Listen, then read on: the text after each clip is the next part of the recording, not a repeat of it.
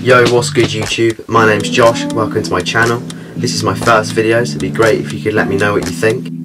Today I'm going to do a hairstyle tutorial inspired by Leonardo DiCaprio. I'll put some pictures here so you can see the kind of thing I'm going for. As you can see his hair's super long on top, falling down creating that cool classic timeless parted look. I know this hairstyle isn't to everyone's taste, but I personally am a huge fan of it.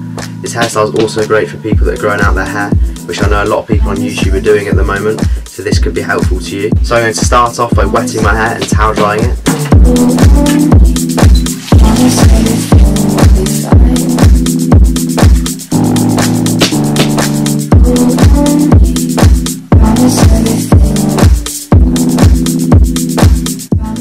So my hair on top is about four and a half to five inches.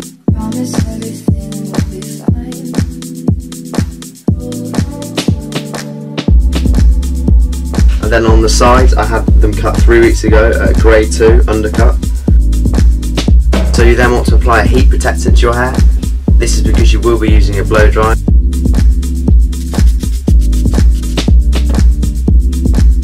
So you then want to apply some sea salt spray to your hair. I know a lot of YouTubers have made their own and I should probably do the same.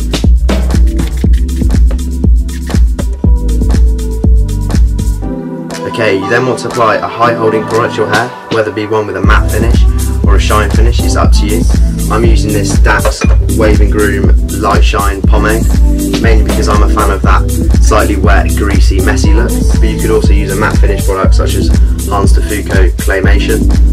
I do this by taking a pea-sized amount of pomade and just rubbing it through my hands, warming it up, and then rubbing it through my hair, making sure I evenly distribute it from the front to the back. You then want to blow dry your hair from the top downwards, creating a middle part, and using your fingers to slightly ruffle up the sides to create a natural wave or curl to your hair.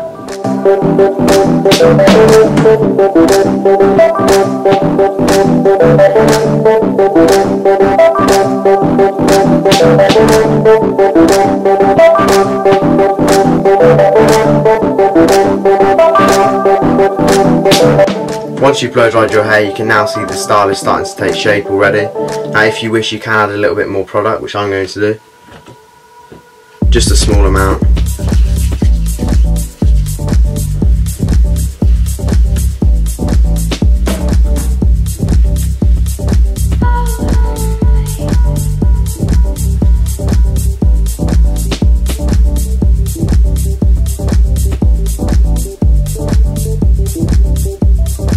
Just defines the look and just finishes it off nicely. This hairstyle is extremely pliable and you can just fix it throughout the day.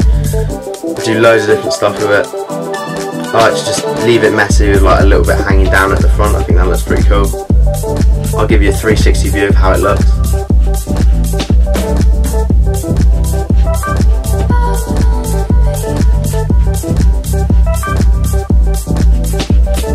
Okay guys, I know this hairstyle isn't going to be to everyone's taste, but it'd be really helpful if you could leave a comment down below, a like rating and subscribe.